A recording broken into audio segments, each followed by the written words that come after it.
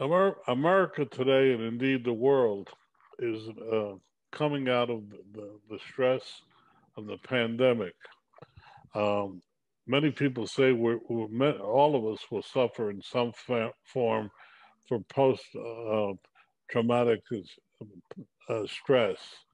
With us is perhaps one of the world's mo- uh, greatest authorities on it, Dr. Randall Bell. He's here to talk about about that in his new book, and I, for one, am really looking forward to hearing from him. Dr. Bell, welcome aboard. Well, Don, it's an honor and a privilege to be speaking with you. Thank you. Well, I think the honor belongs to us. But uh, tell us a little, first a little bit about your background, then a little bit of what you're doing in your new book, and finally a website where people can learn more. Well, sure. I uh, was uh, I grew up in Fullerton, California, a little town just north of Anaheim where Disneyland is, and um, and uh, you know did the normal things and grew up and um, eventually went to grad school at UCLA and then uh, went uh, after that to earn a PhD in sociology. But my career is unique, Don, because I studied disasters. I've studied disasters for decades, going back to the 1980s and uh, at this point, I've studied thousands of disasters. Every uh, cases of mine include like the World Trade Center and uh, Flight 93 crash site, Hurricane Katrina, uh, the Bikini Atoll nuclear weapons test sites. I worked on OJ and John JonBenét Ramsey and a score of uh, famous crime scenes. And I, uh, Don, what, what basically happened was I, I worked on these cases and I still work on them today as an economist but I get to meet the people behind the scenes, behind the headlines, and that's giving me some unique access. And I found that the people are far more interesting than the statistics. So it's been a passion of mine for years to, you know, talk to these people and try and figure out because what I've noticed is that in the aftermath of a disaster in the, or in the aftermath of a tragedy, there's some people that die. The, the, the tragedy really takes them down. I'm not trying to be judgmental, but that's a sad reality. And then there's some people that survive, they get back on their feet, and that's really admirable. But the people I'm most fascinated with are those who uh, thrive in the aftermath of a disaster. It's as if the tragedy kind of woke them up and woke up their spirit, and now that they're, just doing phenomenal things uh, with their lives. And um, so for 10 years, I've been working on this book, doing enormous amounts of research. Um, I have a research firm, so I have a little army of people that you know look up the books, the articles, and all the academia of post-traumatic stress disorder and trauma recovery and and those kinds of things.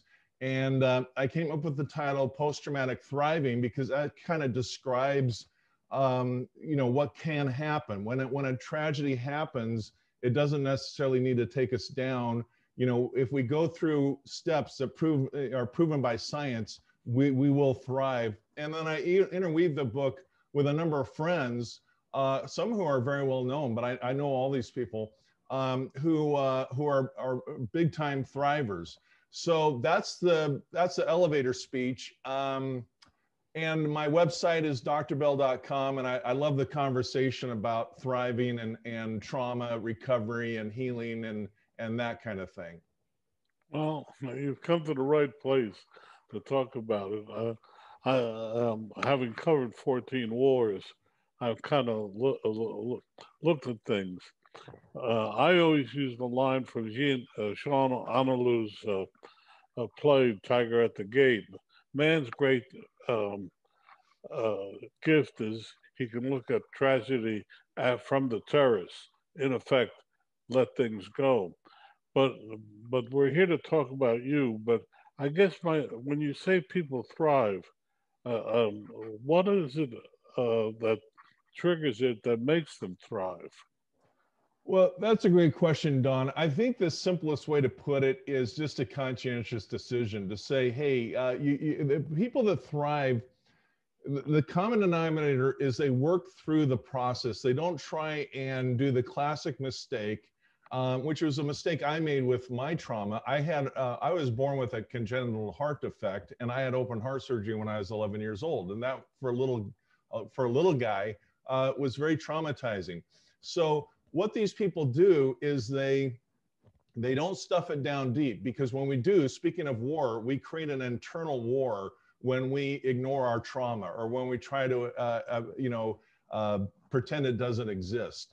We heal when we talk about it. We got to tell our story. So one of the principles in chapter one of the book is what I call the dynamic duo. One is what we call sitting in the fire.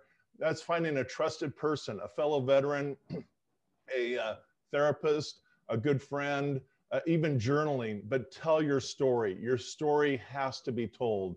Uh, as ugly as it might be, as, as, uh, you know, as, as embarrassing as it may be, telling our story is very, very healing.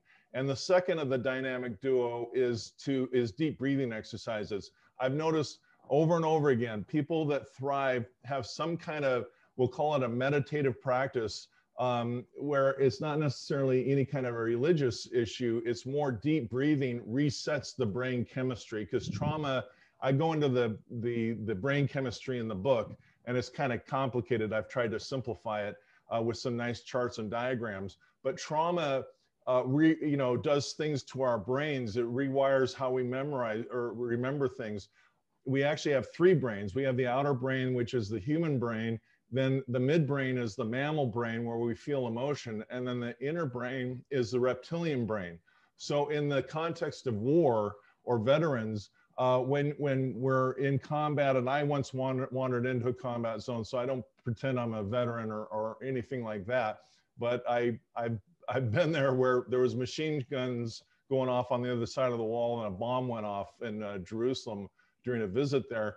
Um, it's very traumatizing. You're in shock and that rewires the memories in the brain. Uh, but by deep breathing exercises, Harvard studies have showed, uh, I have over 20 Harvard studies that show that you can actually do brain scans and see the expansion of the brain and see the healing of the brain from those two exercises. But that's all to say, to go back to your question, the people that go through it kind of intuitively understand that uh, they've been through something with the shock and then the anger and then the denial and the bargaining. They usually land on depression, which is completely normal. Anger is completely normal. All those stages are normal. We just don't want to get stuck there. And so these post traumatic thrivers don't get stuck there. They just kind of keep up with this progression. But you do that by not by ignoring these stages, but by dealing with them head on and then keep moving up through the 15 stages of, of uh, trauma recovery. Well, you know, it's interesting. I, have dealt with it all my life, and I've seen. Um, um, I, uh, um, I, talked once with a uh, general from uh, the Joint Chiefs, and uh, you may be aware in Vietnam they rotated people out individually rather than units, and they really felt that part of the problem was the fact that in World War II units rotated out, not individuals. And mm. uh, you, people uh, had the ability to uh, share their their common events, but in Vietnam we did uh, we did, did not do that, um, and, it, and that's what he felt was one of the main. He felt there was a greater incidence of uh, trauma in Vietnam than in World War II. Oh. What do you say to that? Well, I, actually, Don, I didn't know that, and that's very, that's very interesting, and it reconciles well with the the the process I go through with the book and my research because I, I would uh, say the same thing, only a little differently. Is that trauma recovery is not a solo exercise. You have to accept the help of other people. So what you described is really brilliant because if you're if you feel alone, if you feel isolated and there are people around you that can't relate to what you've been through, uh, that keeps the trauma, you know, going. Um, so, uh, frankly, in the second edition of the book, with your permission, I'll probably add that add that uh, uh that comment because that's exactly right on the money. Uh, trauma recovery is a big deal. It's the difference between diving, surviving, or thriving, and um, and the more we can look at the science and this is a big part of it is is to accept help you know you know eh, you know eat the humble pie accept help a lot of us don't want to accept help we want to you know, find it, figure out the directions for ourselves. We want to do everything. We, we can do it by ourselves.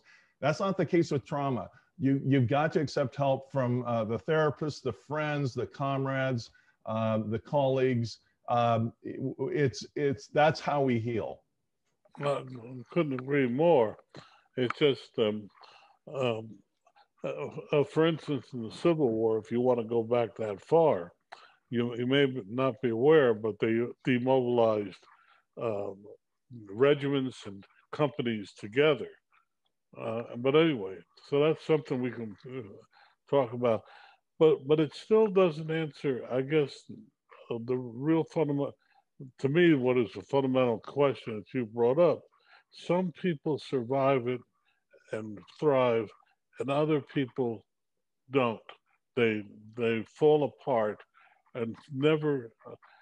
Uh, how do you identify that, if you can identify that? Yeah, it, it, it, the I'll put a little more meat on the bone um, with with answering that. The the studies into happiness and which correlates with with thriving shows that fifty percent of happiness is our DNA. It's just what we're born with. Um, I happen to be lucky in that department. I was unlucky with the with the uh, heart heart condition, but I was lucky with the DNA. My mom said I was born smiling, but but some people are, are not. Some people are more somber and more serious or, or you know, or, de- or depressed even.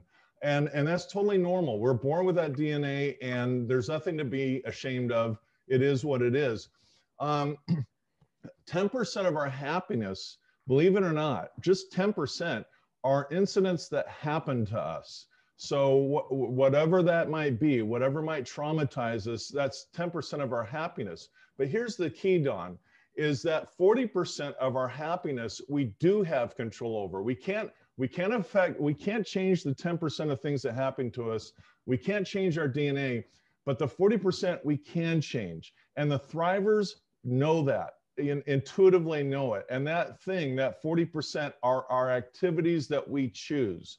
So, in other words, the person who gets stuck in their trauma they listen to you know things that I'm I'm saying now, or they listen to other people that are saying the same thing. It all comes from the same body of science, and they say, "Oh, deep breathing exercises that's interesting, but that's too simple. That doesn't work for me. Uh, you know, my trauma is too special, um, and that won't help." Let me just say on that exercise, uh, baloney. Um, you know, I do a lot of volunteer work up at San Quentin Prison in uh, Northern California, and uh, we have criminal criminals coming into the class. Uh, and after two years of what I'm talking about, they walk out the nicest, kindest gentlemen who have taken full responsibility for what they've done, who um, who ha- I've seen many times break down like babies crying over with remorse of what they did.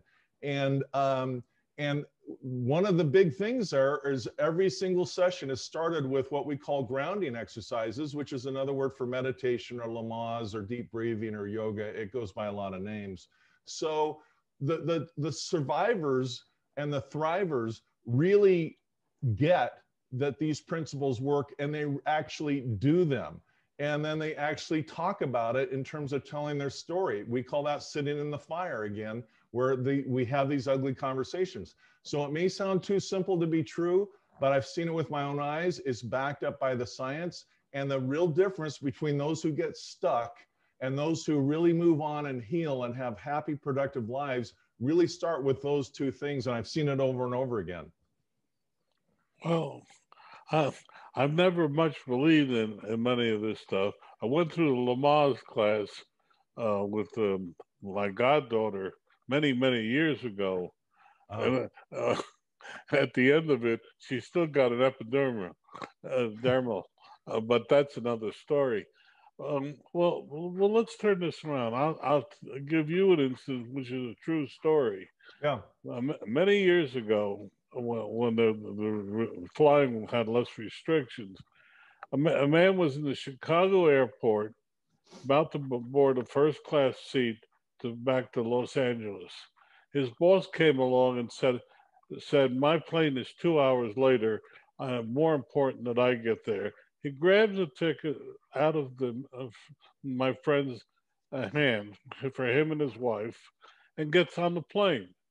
As my my uh, friend is watching the plane take off, it takes off and crashed. It was it's a famous crash at O'Hare Airport. You know that's fate. Yet I've ne- from that point on, uh, I've never said this other part of the story. I don't think he was ever the same again. Um, that to me is uh, stress of the highest order. Well, that's a pretty traumatic story, and um, and I've dealt with others. I've dealt with. Uh, I worked on the Sandy Hook school shooting and and other cases where people have seen horrific things, uh, like your like like the story you shared, and um, you know, going into the prisons, you know, these criminals, these people who have committed, you know, horrible crimes and, and are offenders, uh, a lot of times, uh, 95% uh, of the time, actually, their childhood trauma is horrific. I've heard stories that I couldn't even repeat. They're just so horrific. And, um, you know, in terms of things that happen, have happened to uh, a lot of these people as children, and then they act out, they don't process the trauma. They're, we don't, we're never taught this stuff in, in school how to do it and then they uh, offend as an adult, and then they land in prison. Um, I can tell you, as in, as far as witnessing a plane crash, uh, the the shootings. I've worked on several mass shooting cases. The case with the um, the Pulse nightclub in uh, Orlando, Florida, and others. the, these are all over the top horrific experiences. But I got to go back to you to what you said earlier, Don, that you don't really buy into it you know in the book i have some simple exhibits on on meditation and deep breathing and you don't call it lamaze that's that's a different thing for, yeah, for women going childbirth try it cool. out for a month and and i'll tell you you'll feel you'll feel the improvement I'm, I'm probably again i'm not arguing with you i'm just I, uh, um, uh, you, you're on this program because you're the expert so, so uh, why don't i shut up and you tell us more about uh, your book and what p- people can get out of it. But first of all, your, the name of your book again and how people can get it. Yeah, the name of the book is Post Traumatic Thriving. Uh, it's a, on Amazon, it's on all the bookstores. And I am not doing this for the money. I'm doing this because I feel a personal responsibility that I've had this unique access to these disaster sites all over the world. I've been to seven continents, 50 states working on disasters for since 1986. So I don't know what that math adds up to, but it's, it's a lot of research. And, um, and, and you can visit me at drbell.com. But in post-traumatic thriving, there's 15 chapters. And if you like, Don, I'll go, I'll kind of give you a, a, glimpse into all 15. Please. Please. You can, yeah, you can kind of see the process um, of how that works. The um, it starts with shock. Um, some disasters are chronic and some are acute, meaning some kind of linger over time, like you're in an abusive relationship or you're in a war, it's day in, day out. Or some just come and hit you, like your friend who witnessed the, uh, the plane crash. That's just uh, an instant that can change your life. It doesn't matter if it's acute or, or uh, chronic, the, the solutions are the same. So chapter one starts off with talking about shock, what's going on with our blood uh, chemistry, our brain chemistry, our adrenaline gland. And what basically happens, Don, is when we're when we go into shock, our human brain shuts off, our reptilian instinct brain turns on. And um, it's a survival thing. It's like, how do I get, you know, to the right, you know, behind the tree to avoid gunfire? Or how do I um, rescue my family out of a burning car. It's just it's it's, instinctual and it's hard driving and the adrenaline is pumping out at massive levels. So the thing is, is that the trauma occurs. It's it's an ugly picture. I get that, but in that post-traumatic time period, what happens is because our brain was not functioning normally, it was in this fight, flight, freeze mode of um, of shock that can stay with us. So the, the classic example is that the veteran is, you know, out on the sidewalk, you know, walking down the street to a restaurant and they hear a car backfire and they hit the deck to, you know, because of that instinct. They've been triggered. So the idea with trauma, the big picture is we don't ever want to forget about it. That's you're never going to forget about a war. You're not going to forget about an accident. You're not going to forget about the death of a loved one. That's not the goal. The goal is to go through the healing process so that when you're triggered the next time, that memory can flow through the mind harmlessly. And in other words, not turn on the brain system that triggers the adrenaline gland above our kidneys and pump out adrenaline. Uh, because living with adrenaline pumping through our bloodstream is not healthy. So that's the goal. So right now, I can think about my heart surgery, and I didn't do the healing for decades. I stuffed it down now that I've been through the process, I can talk about it and there's no adrenaline, there's no high blood pressure, there's no high pulse rate going through me, even though I'm talking about something that as a kid was very traumatic to me. So that's the goal with anybody dealing with their, their trauma. So it starts with, uh, you know, a chapter on shock. And, you know, it's kind of, um, you know, frankly, Don, it's kind of an ugly topic. You know, people don't want to go back and revisit the shock. It's not a happy memory, but that's what's necessary to do to heal. And then the next one is denial. After there's a, the next chapter is denial, meaning we try and forget about it. We try and deny it, it was bad as it was. We just try and bury that memory. And I, I was guilty of that big time, of denying it and not talking about it. And then chapter three is anger. And a lot of people feel guilty over anger, and they shouldn't, um, because anger is a totally normal emotion. As long as you're not hurting someone else, as long as you're not hurting yourself, anger is totally fine. And so I say in the book if you're mad, be mad. If you're angry, be angry. It's a normal emotion to feel that. We just don't want to get stuck there. And so I have some tips in there how to kind of deal with anger. But the first step is don't be embarrassed about it, be angry but don't make everyone's life miserable about it and don't hurt anybody else.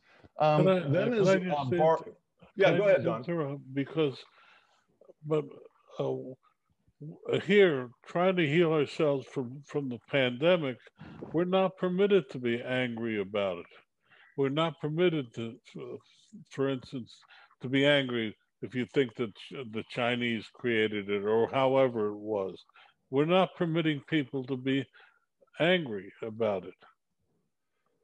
I think you're right, Don. And that's part of the problem. And that's why our trauma from the pandemic will probably linger longer than it should because we should be angry. Uh, and there should be people held responsible or, or, or governments or whoever's ultimately found responsible. There, there should be that discussion. And you're right, a lot of people want to shut that down. That's a classic mistake. You want to talk about it and you want to process it. Okay. Yeah. Didn't mean to interrupt, but I want to make oh, sure. Oh no, it's a great comment. And then and then the next step is bargaining. You know, when I was told I had to have heart, heart surgery as a 10 years old, uh, when I was told, um, you know, I bargained with my parents, I bargained with God, I bargained with the doctors, I bargained with the nurses, I bargained with anyone I could try and bargain with. And it, you know, frankly, bargaining can work sometimes, but for me, it didn't work. I still had to, you know, go into the hospital. And then ultimately you land on depression where you're just, you know, uh, down. The rule of thumb there, Don, with depression is that if it lasts for more than two or three months, you've absolutely got to seek help. Um, that's where we go back to what I said earlier about a solo exercise. It won't work. You, have got to uh, seek help. And I did, and I'm not bashful about admitting it. In fact, I'm quite open about it because it worked. It, it, it helped me through that um, you know, depression and, and kind of move on. So that's the that's section one of the book, those five stages. And we go into the detail, lots of charts and exhibits on how this all works. And we want to kind of read a chapter and think about that stage so we can process through it, you know, with our emotions. That's stage one. Stage two is survival. We've gone from dive to survive the first thing to do to survive is really confront things. Um, like you were just saying, you know, confront who's responsible for this pandemic, confront your, your, your abuser, confront the, your leaders, confront whoever uh, caused or uh, facilitated the, the trauma to happen. Um, and, and have some, um, you know, enough self-respect that you don't bury it and pretend it didn't happen. You, you confront it. That doesn't mean you become a jerk and start, you know, going off on people, but there's a, there's an honest discussion. Hey, this happened and and um, I, I, was traumatized and, and having those open conversations there's open and there's closed systems and there's open people and there are closed people we got to go from closed to open to really kind of have a healthy discussion and say hey you know let's talk about this. And then the next one is kind of the, the title of the chapter is sort out. It's basically you untangle the mess. And you know maybe some good things happen from the war. Maybe some good things happen from you know a trauma. Uh, maybe there's some good things that you know in my case with my heart surgery. So you know i i'm 62 years old and my heart's in great shape now. So you untangle the the good from the bad and you kind of sort that out and then the eighth chapter is really kind of the most fun it's exploration where you explore different things. Maybe I ought to take up a hobby. Maybe I should start volunteering at the homeless shelter. Maybe I ought to, um, you know, join a church or join a, a, a, sports club or whatever it is. But you start exploring new things uh, to get, you know, to get interested in. And then um, the next one is acceptance. That's just kind of the character. That whole chapter is about the character to hold yourself and hold others responsible. In other words, I, I might not be responsible for my trauma that happened to me, but I am responsible for taking charge and healing and doing the research and figuring it out so I can kind of move beyond it. And the final chapter 10 in survival is awareness. And that's just kind of a, a mindfulness that we have an inner strength that we didn't realize we have there. You asked a couple times what separates the divers from the thrivers and, and one of those things is just a mindfulness that, hey, within me, I have this God given ability to be mindful, to take charge of, of my life, and to um, and to kind of take manage my own transformation rather than just being subjected to whatever happened to me. So that's the survival stage. So before I get into thrive, any any thoughts uh, on that? Did that make sense to you, Don? No, but unfortunately, we don't have a very short time left. But we're going to make time for you. So please go into Thrive. Okay. Well, the Thrive stage starts with faith. Um, that's a ticklish subject because some people are agnostic or atheists or theists and all kinds of things. But the studies show that those who have faith in something, a higher power in nature, in humanity, faith in something bigger than themselves, do well better than those who reject all faith. Um, so there's a chapter on that. Connection, connecting right the, with the right people, um, having having like you said with that brilliant story that you shared, having a group that you that really knows how you are. Um, forgiveness. There's a chapter on forgiveness. 13 the big myth there is we don't forgive and forget. We we we're not going to forget these things, but th- that's that's a lie that we're told. But forgiveness means again, kind of giving some a little bit of grace, a little bit of understanding, a little bit of empathy empathy for the other side of the story, and just kind of coming to to peace with that. Chapter 14 is on resilience. That's kind of a discussion on the ability to bounce back uh, rather than just uh, go flat. The, the 15th chapter, I'll just say real quickly, is gratitude. Of all things, it's gratitude. I'm not grateful that I had heart surgery, but I'll tell you, Don, I am grateful that when I see a kid in a wheelchair, I don't have to pretend what that kid went through. Um, I have deep empathy. I, I always get a tear in my eye when I see a kid struggling because I was that kid when I was 10 or 11 before I had my heart surgery. So there's something good that can come out in terms of being grateful, not so much that the trauma happened to us, but for the lessons that we learned and the and the and the opportunity to build a little bit of character around that. So that's the big picture, real quick. That's a darn good. So at least you know your subject is very evident. We're talking Dr. Randall Bell. He's got a great book. Uh, uh, Dr. Bell, your book again and where people can get it.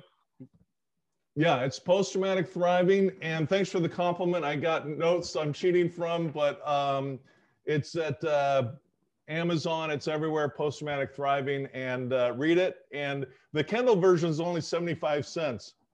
I'm not trying to make money. I'm trying to help people process this stuff. So get it, read it, and then let me know what you how it worked for you. Well, we uh, I'm going to make one more minute. Well, how would you like to? What would you like to leave your audience with? You know, uh, you know, Don, I, I love the conversation. I, I again appreciate you having me on, and I guess in my minute I'll just say that the number one problem on planet Earth is unresolved trauma. The drugs and alcohol and workaholism and and all that are symptoms of trauma. If we actually deal with the trauma, those other symptoms go away. When I volunteer in the homeless shelter, I don't I don't pound on the people for being alcoholic or getting into drugs or any of that. I I address the underlying real problem and that's their unresolved trauma and then the other stuff just naturally goes away. By college age, 66 to 85% of everyone will have experienced a trauma by the time they're my age or your age, everyone's experienced a trauma. We're not taught how to deal with this in school. So I'm trying to just make this conversation bigger and louder so that the world can just get better. We, we, have been talking with Dr. Randall, Randall Bell, and we thank you so much for joining us. It's been one of the uh, my more pleasurable uh, experiences. Thank you. Thank you, Don. I really appreciate it.